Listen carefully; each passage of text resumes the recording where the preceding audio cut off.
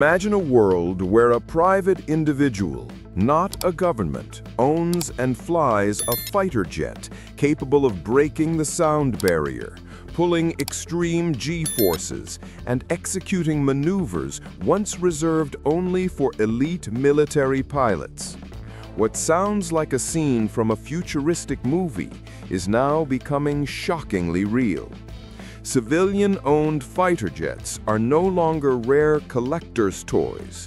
They are evolving into high-performance machines powered by daring entrepreneurs, tech startups, and a booming market worth hundreds of millions of dollars.